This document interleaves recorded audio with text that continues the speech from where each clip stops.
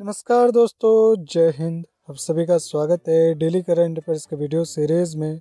आज है दिनांक 11 मार्च 2023 और हम प्रतिदिन करंट अफेयर्स के 10 प्रश्नों को सॉल्व करते हैं विथ डिटेल्स, ताकि आपको उस प्रश्न के बारे में पूरी जानकारी प्राप्त हो सके। आज के सवाल कुछ इस प्रकार होंगे, जैसे कि सबसे बड़ा राष्ट्रीय ध्वज से लेकर यूपीआई लेन देन की बढ़ोतरी तक। तो चलिए जानते हैं इन सभी प्रश्नों के उत्तर को एक एक करके। पहला प्रश्न है, महिला एथलीट्स के लिए खेलो इंडिया दस का दम टूर्नामेंट किस स्टेडियम में आयोजित किया जा रहा है? इसका उत्तर option D Jawaharlal Nehru stadium में। आप इसके बारे में डिटेल से जानकारी राइट एंड साइड से प्राप्त कर सकते हैं। प्रश्न दो, प्रधानमंत्री नरेंद्र मोदी जी और किसने अहमदाबाद में फ्रेंडशिप हॉल ऑफ़ फेम का उद्घाटन किया है? इसका उत्तर ऑप्शन बी, ऑस्ट्रेलियाई प्रधानमंत्री एंथनी अल्बानीज ने।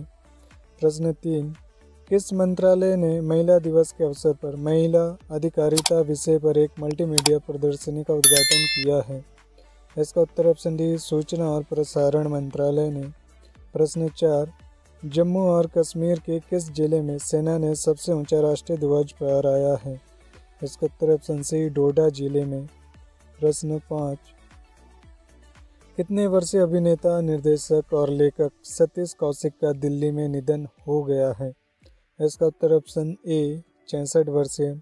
आप इनका तस्वीर राइट हैंड साइड में देख सकते हैं। प्रश्न छः किस राज्य में पाँच दिवसीय असांग उत्सव शुरू हुआ है? इसका उत्तर ऑप्शन ए मणिपुर राज्य में। आप इस उत्सव के बारे में इत्यादि जानकारी राइट हैंड साइड से प्राप्त कर सकते हैं। प्रश्न सात, कौन सा राज्य इंडियन पामा फेयर के आठवें संस्करण की मेजबानी करेगा। इसका ऑप्शन डी उत्तर प्रदेश राज्य। क्या आप बता सकते हैं वर्तमान समय में उत्तर प्रदेश राज्य के मुख्यमंत्री और गवर्नर कौन है? प्रश्न आठ। किसके रिपोर्ट के अनुसार रोज़ाना यूपीआई लेन देन पचास प्रतिशत बढ़कर छत्तीस करोड़ हुआ है?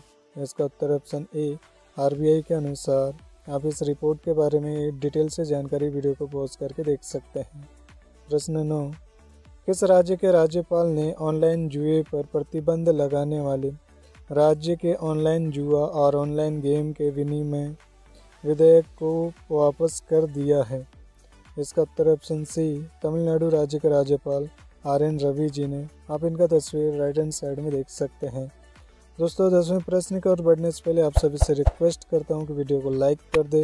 एक छोटा सा कमेंट कर दे और इसे अपने दोस्तों के साथ ज़रूर शेयर कर दे। बढ़ते हैं दसवें प्रश्न की ओर।